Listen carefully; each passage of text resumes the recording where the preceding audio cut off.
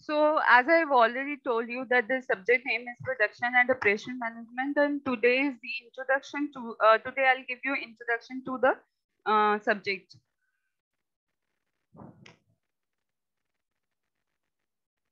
So in this particular lecture, uh, means after uh, this, uh, after finishing the discussion of this topic, you will be able to understand the operation management, know the objectives of operation management, understand why uh, operations management is important, and you will also be able to explain the uh, how operation management has evolved over the time.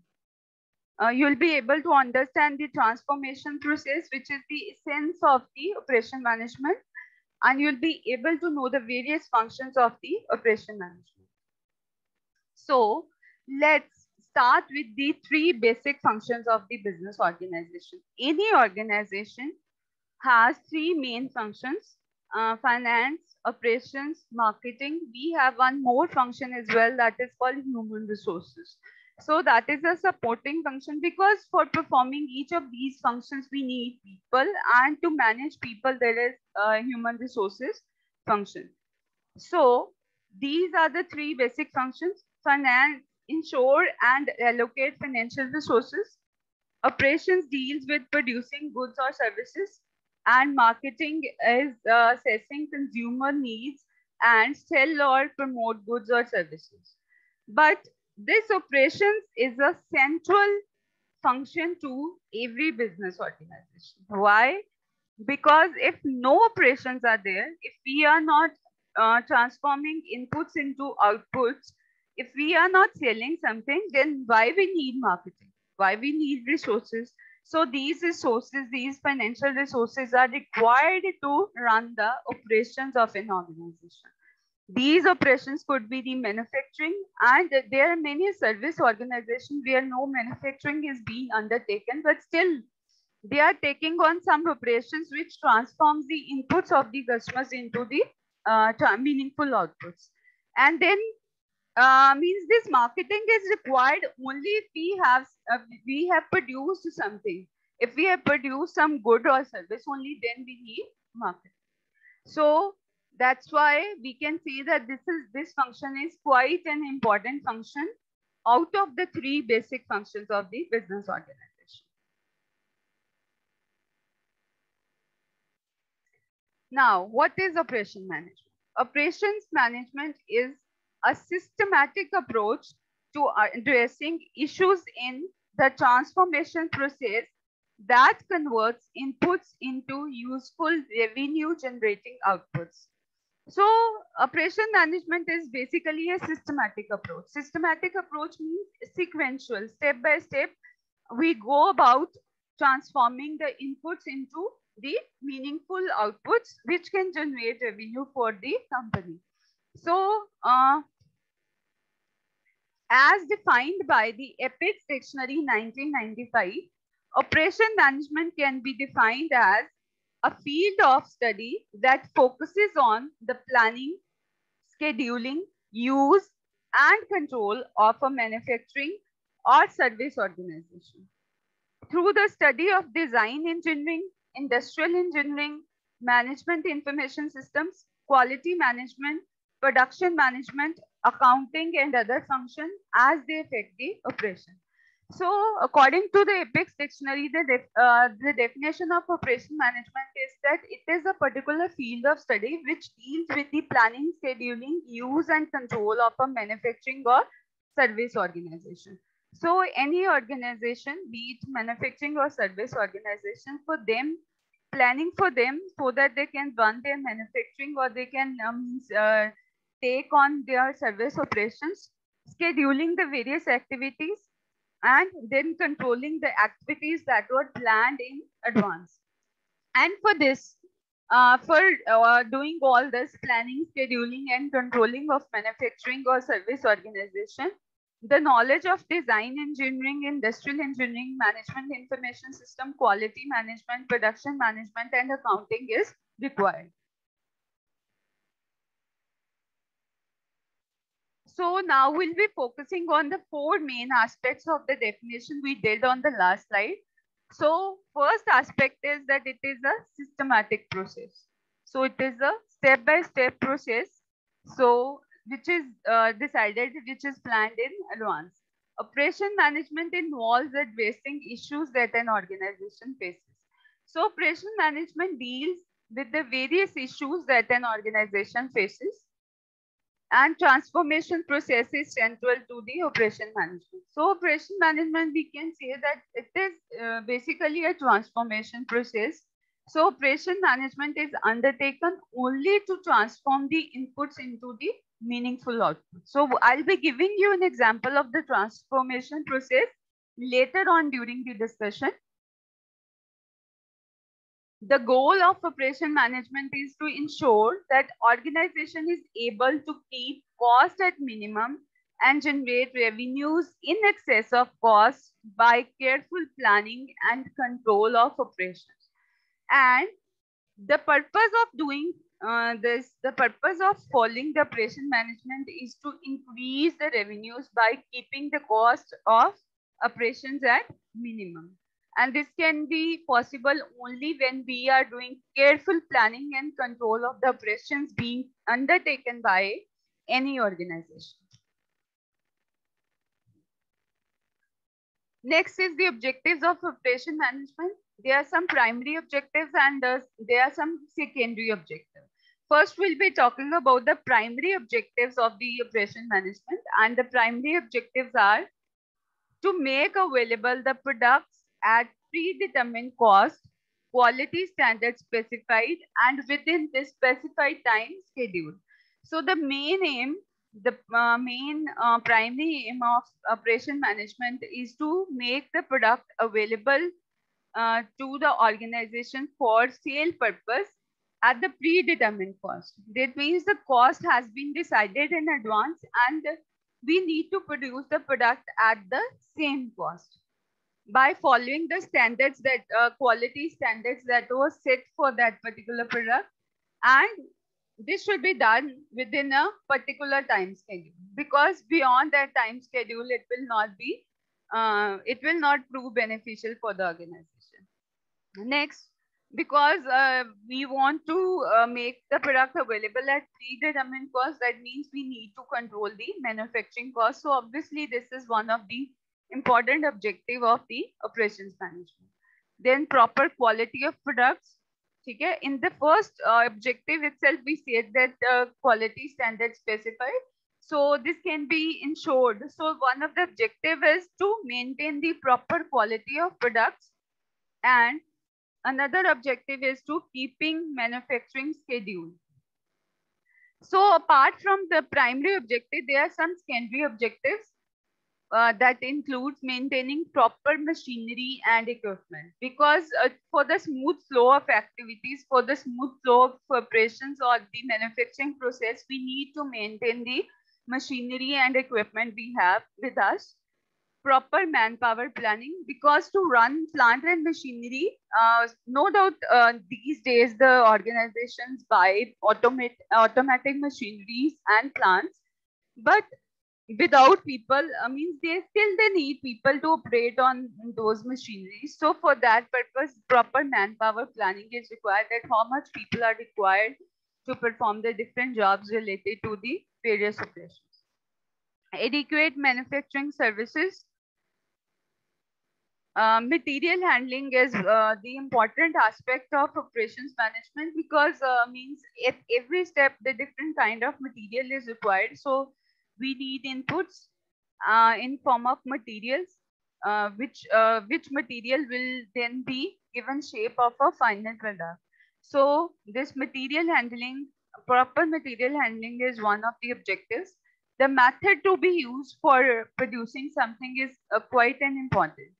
An effective uh, method uh, used for manufacturing can make a huge difference because if we are following the ineffective old methods then we may uh, we may use more time for producing and it will in, uh, have an impact on the manufacturing cost as well because it will increase the cost involved in producing the product So the method of production is also very important. Next means now we have understood that what operation management actually is.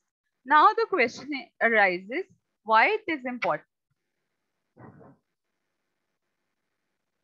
So we can find out the importance of uh, operation management by finding out the reasons to study operation management.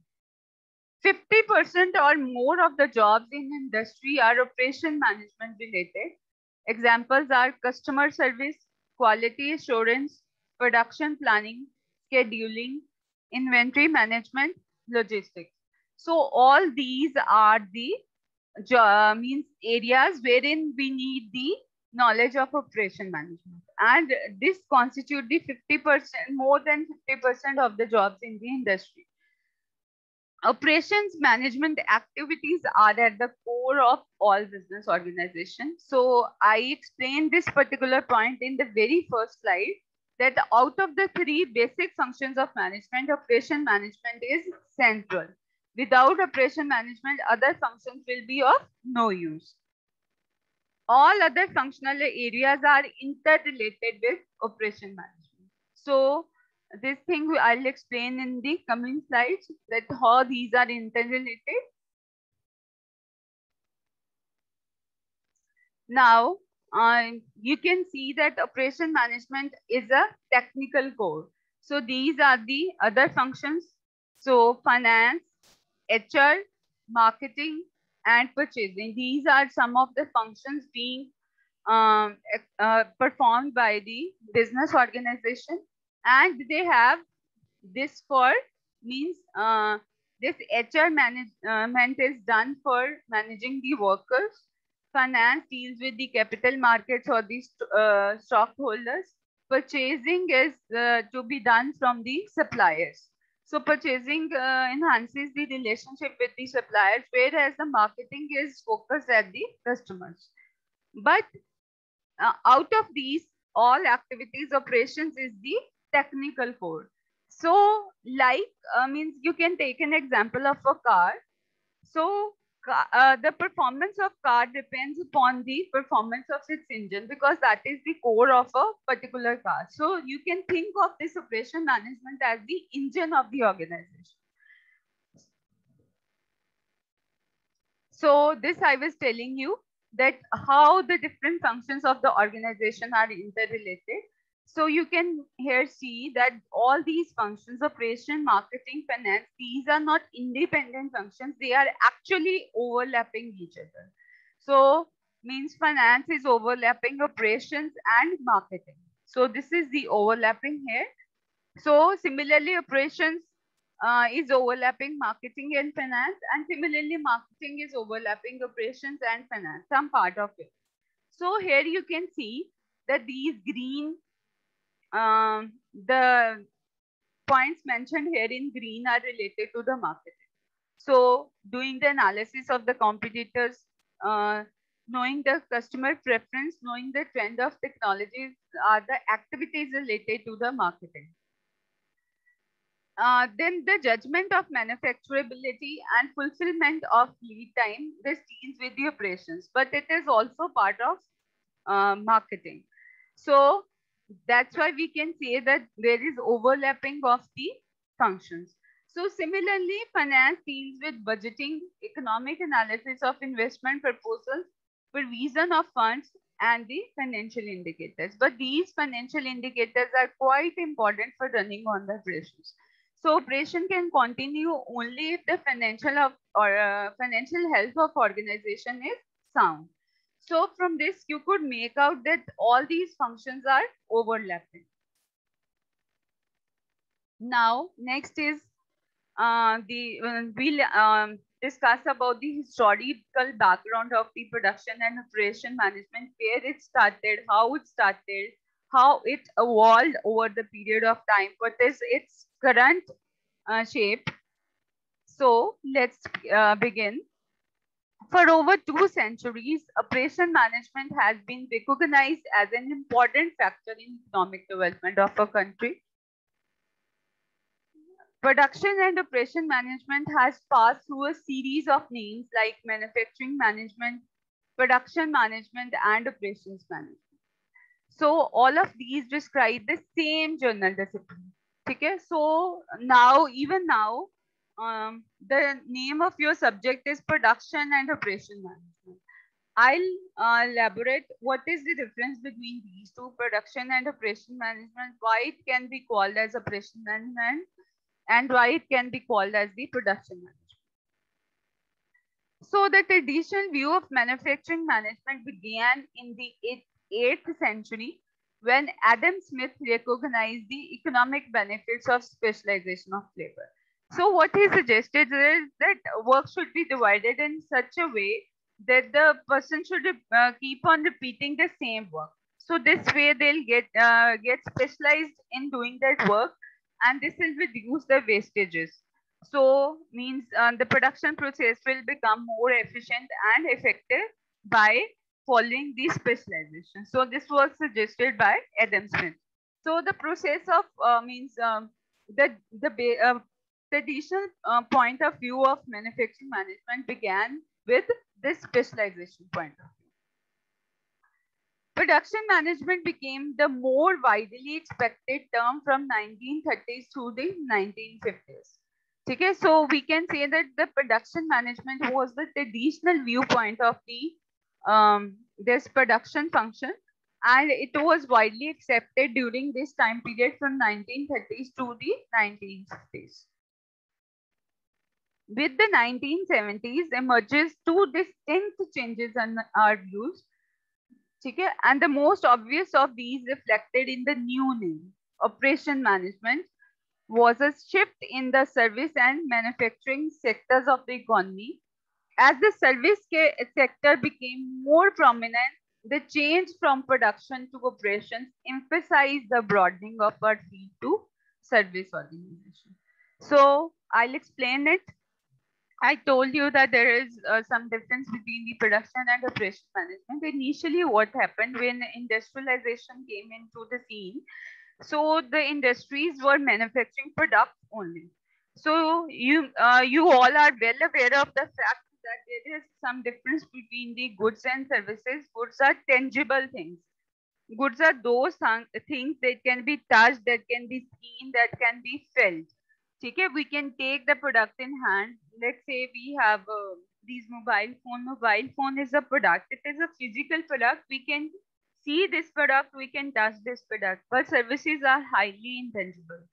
Let's say uh, we have uh, bought an insurance policy. What we get in hand is some terms and conditions related to the insurance policy and uh, there is some information written in the form of what is your premium amount, uh, what is the uh, date of premium payment, and uh, when your policy will get matured, what the, the benefits will uh, you can get out of this policy.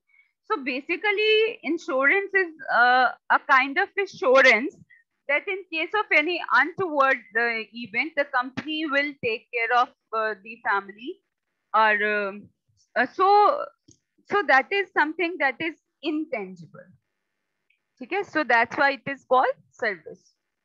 So, so production was a more uh, production was a term more relevant to the production of products. But in 1970s, the um, there was a change in the scene. So more and more services uh, were coming into scene and the services uh, started contributing more than the products. So that's why a need was felt to change the name from production management to the operations management because that was a term more relevant with the, both of these, the production of products as well as services. When we say the uh, production, so in because in services we are not actually producing something. So if a person has opened a bank account, uh, there are some activities involved in that opening an account. There are some tasks involved but there is uh, there is not essentially any manufacturing going on. So we are not converting some input, uh, inputs into the uh, meaningful outputs here. So um, means uh, there is no um, there is no production going on actually. So there are some operations. So operations is a term more relevant with both of these, production as well as the operations. So that's why the name has been changed to the operation management from the production management. Uh, and and uh, means nowadays production management is actually called as the operations So this is how operation management has evolved. We could classify it into three stages, the era of craft production, the era of mass production, and the era of lean production.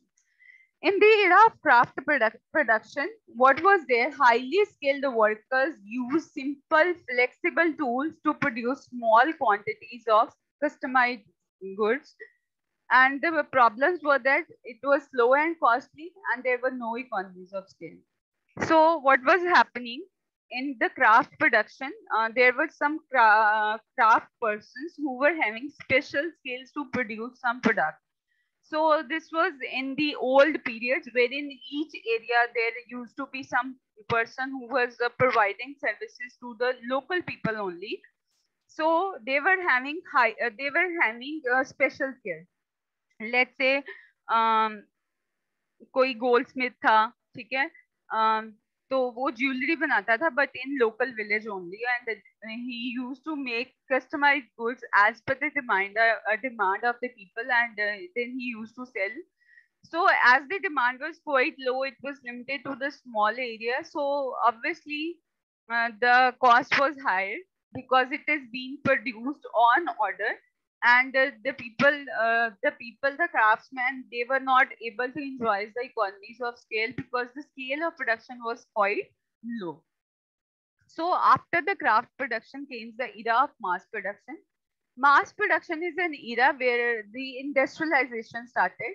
So uh, the industries were formed and the production process uh, was uh, means machinery specialized machineries were used to produce the large volume of standardized goods. So this is called mass production. When we produce a particular standardized product in large quantities, it is called mass production. So uh, this started with the uh, Ford manufacturing T model. So in initially Ford uh, Motors, they started manufacturing one car which that is called T model only available in the black color and they were selling it in the American market. So they never realize that the different people, they have different choices. So uh, means one model of car and that too available only in single color that is black color. So this was the era of mass production. So the concept that was used here was interchangeable parts and division of labor. And the problems were it this system was quite rigid. It was not possible to make any changes uh, as and when required.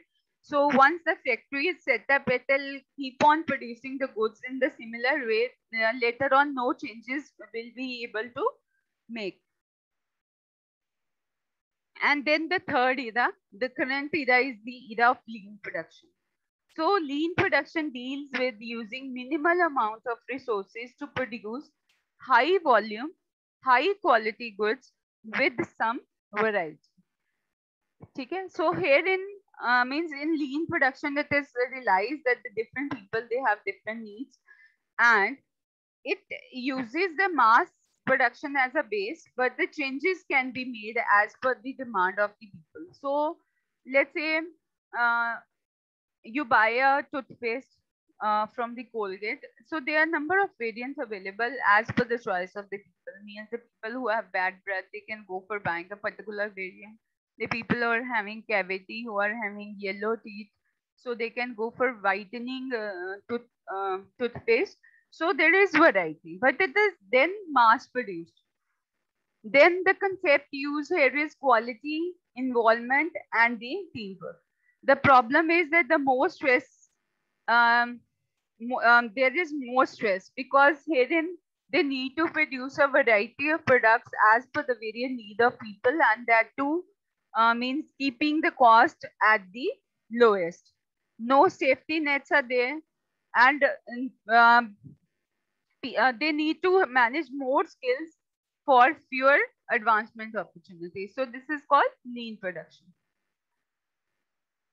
Now, as I told you initially that the transformation process is central to the operation management. Now you will understand what is a transformation process. So this is a transformation process. Inputs are here, uh, some activities are being undertaken and then this input is being transformed into outputs. Okay, so what could be the inputs? Workers, managers, equipment, facility, material, raw material, uh, energy material, etc., land, information, etc. All these are uh, in, inputs that are being put into the transformation process. So here operations and processes are undertaken. So during this here operations and processes are undertaken and then we have an output in the form of a good or service. So what is lead time? The lead time is the time between ordering a good or service and receiving it. So now uh, this transformation process uh, has the focus to reduce the lead times. Uh, so the purpose of this transformation process is to uh, make the product ready so that whenever we get the demand, immediately we are able to deliver the product to the final consumer so that this lead time is lowest. Now operations is equal to transformation process. Inputs are basically the five M's that is the management, methods, materials, machines, and maintenance. Apart from this, uh, the people, information, and energy are the inputs. Then we have the transformation or conversion process, which includes cutting, machining, storing, transporting, investing, analyzing. And then we have output that is a good or service. So what actually is happening in the transformation process that uh, we need to add value to the inputs being uh, uh, given uh, that are uh, taken that are being there in the transformation process. Uh, so during the transformation of inputs into outputs, well, some value is added. That's why there is a difference between the cost of input and the value of the output. That is the price of output.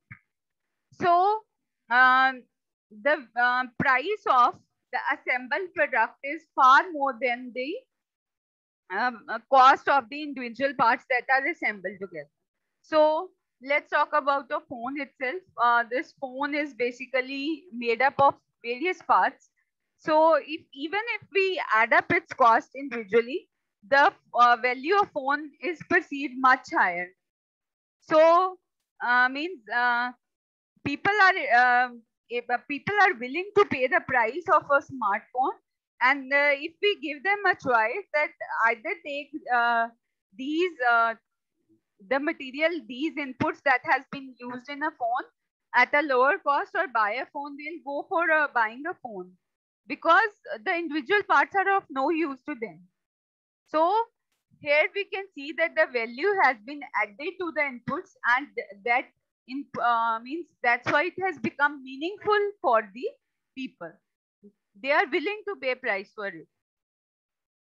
So now uh, we'll go through some examples so first is an example of food processing industry this is essentially a uh, in food processing the output will be a um, product not a service so in each of the transformation process, you'll see that the inputs are different, their processing, their operations are different, and the output is different. So in case of food processing industry, the inputs would be the raw materials, the metal sheets and aluminum sheets, water, energy, and labor. We need building and equipment uh, for doing these operations. So these are the inputs. In processing, what is done? that the raw vegetables are cleaned, cans are being made, then the raw veg, the clean vegetables are then cut and uh, then they are cooked, then packed and labeled. So in labeling, all the nutrition information related to the vegetables we cut is mentioned on the package. And the output is the canned vegetables that can be used at any time by the customer. So another example is of a hospital. Now this is a service organization. So in the last slide, we talked about the physical product. Here we are talking about the transformation process of a service. So here the output uh, input will be the doctors, nurses, hospital, all the medical supplies, equipment and the laboratories. The processing is that whenever a patient will come to the hospital, examination will be done. If surgery is required to be performed, then surgery will be performed. After that, the monitoring of the patient is uh, done. And uh, after the sufficient monitoring, if they feel like that then now the patient uh, is out of danger, so they are advised to take some medication or therapy even at their home and the output would be a healthy patient. So unhealthy patient has come to the hospital and the output will be a healthy patient. So another example is of a airline company. So what they do is they do forecasting of weather, their landing conditions, seat demands for flights. They, they do capacity planning that how many number of planes uh, are required on each route they do scheduling of planes for flights and for routine maintenance. And they also do scheduling of pilots and the flight attendants. These are the operations being undertaken by them. And what they ensure is the quality of the services and the safety of passengers. So the output is the uh, that the person uh, that has um, bought the air ticket, they'll reach on their destination on time safely and the other services will, uh, the allied services that are being given by the airlines to the people, the quality of those services will matter to the persons. Next is the uh, functions of operations management. So operation management has varied functions um, that are being formed during the course of exercising the operations management. So basically all the functions we uh, will be mentioning here, we'll discuss it in it later on because uh, this is the this is being distributed throughout the syllabus.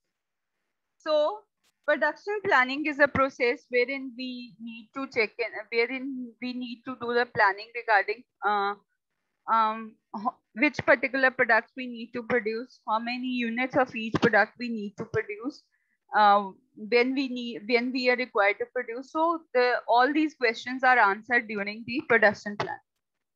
So during production control, whatever was planned will be actually uh, going on and the control will be taken or to uh, taken over to ensure that everything is going on as per the plan previously made. So here when we have plan, herein we'll control that what actually is happening should be equal to what we have planned. Then plant layout uh, means the decision related to the plant layout is also one of the functions of operation management. Plant layout means deciding on um, the layout of a factory of the or the manufacturing facility.